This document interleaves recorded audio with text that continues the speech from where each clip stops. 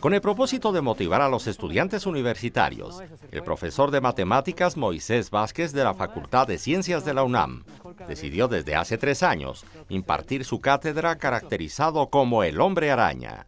Decidí dar clase como el hombre araña para aligerar la tensión a la hora de aplicar un examen de matemáticas. Después me di cuenta que el traje era benéfico de ambos lados. Daba confianza al alumno para preguntar. A mí me daba todavía más confianza transmitir conocimiento y más gusto.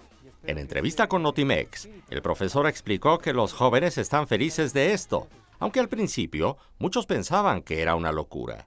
Los demás catedráticos le dijeron que era una idea genial y la directora de la facultad aplaudió su iniciativa. Y dije, bueno, creo que tengo el poder de hacer algo diferente, o sea, dar mejores clases, apoyar más a los alumnos. Entonces de ahí trato de hacer mejores mis clases y mi propuesta es que desde aquí hasta que tenga vida, o sea, dar clase como el hombre araña.